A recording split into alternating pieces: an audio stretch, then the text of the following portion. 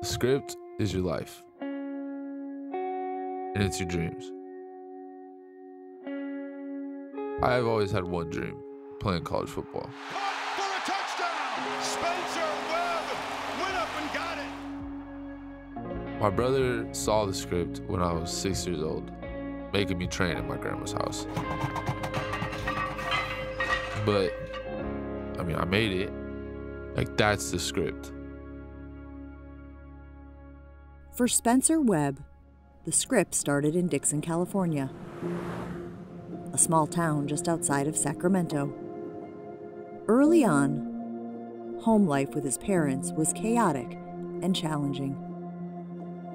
As bad as it gets drugs, alcohol, selfishness, issues.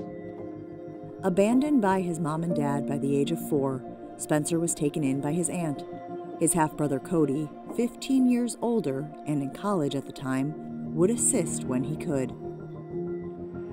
I think the dynamics of that home were always challenging. Spencer's just a strong personality, and maybe the abandonment, he needs the attention. In 2013, with Spencer's grades in a free fall, Cody decided to move the 13 year old to Sacramento, where he became Spencer's legal guardian. A new school and new structure helped Spencer thrive in the classroom and on the field. Sports gave him purpose, kind of a break from the grind of life. The accolades and the pats on the back and being part of the family of a team, he gravitated towards that. In 2017, Spencer achieved a childhood dream when the 6'6 tight end committed to play football for the Oregon Ducks. It was my dream school. Um, ever since I was a young boy, I've always wanted to go be a Duck, and now I have the opportunity to. Now takes a shot downfield. It's caught inside the five by Webb, and he's in. Touchdown, Oregon. Big fella went up and made a play on the football.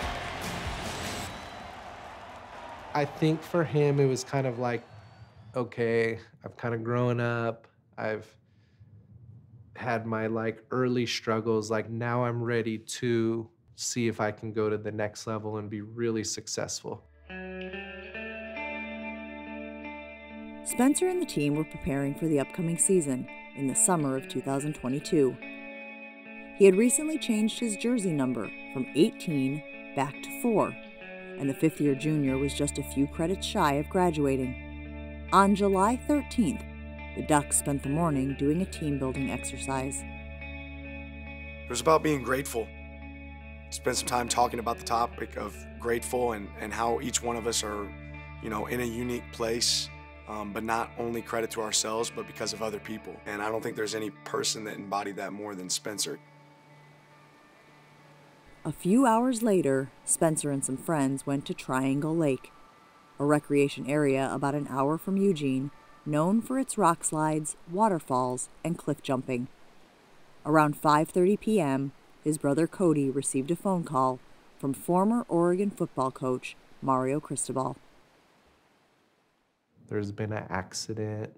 Um, Spencer's hit his head, and um, you know he said something like, "And he didn't make it." It was just the worst news you could ever hear. At approximately 2:30 p.m., according to the police report, Spencer Webb was climbing a rock formation when he slipped, falling into the water and hitting his head. The 22-year-old was pronounced dead a half hour later.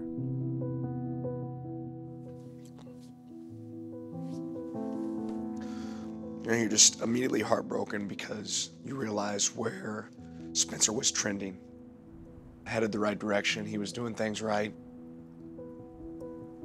I've never really experienced losing someone close to me, um, and Spencer was that first person. Like I was still waiting for Spence to call me, text me.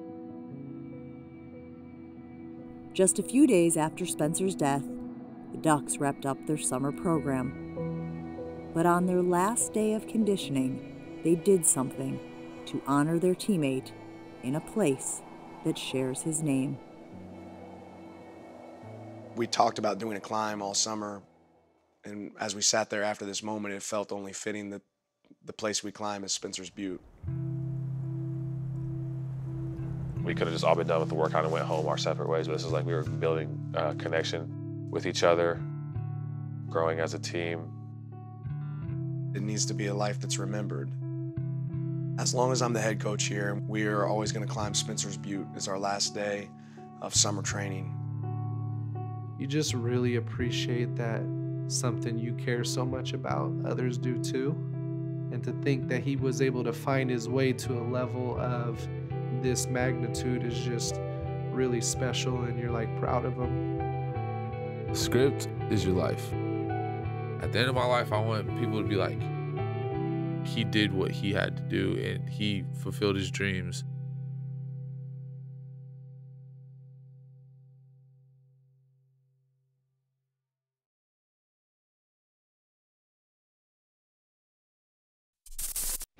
Thank you for watching ESPN on YouTube. For live streaming sports and premium content, subscribe to ESPN Plus.